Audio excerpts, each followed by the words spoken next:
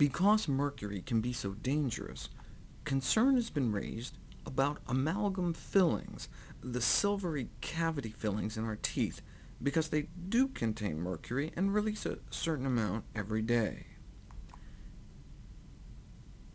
Eating just a single can of tuna a week, though, is the equivalent to having how many mercury-containing fillings in our mouth, day in and day out? Less than 5, 5 to 10, 15, 20, 25, or more than 25.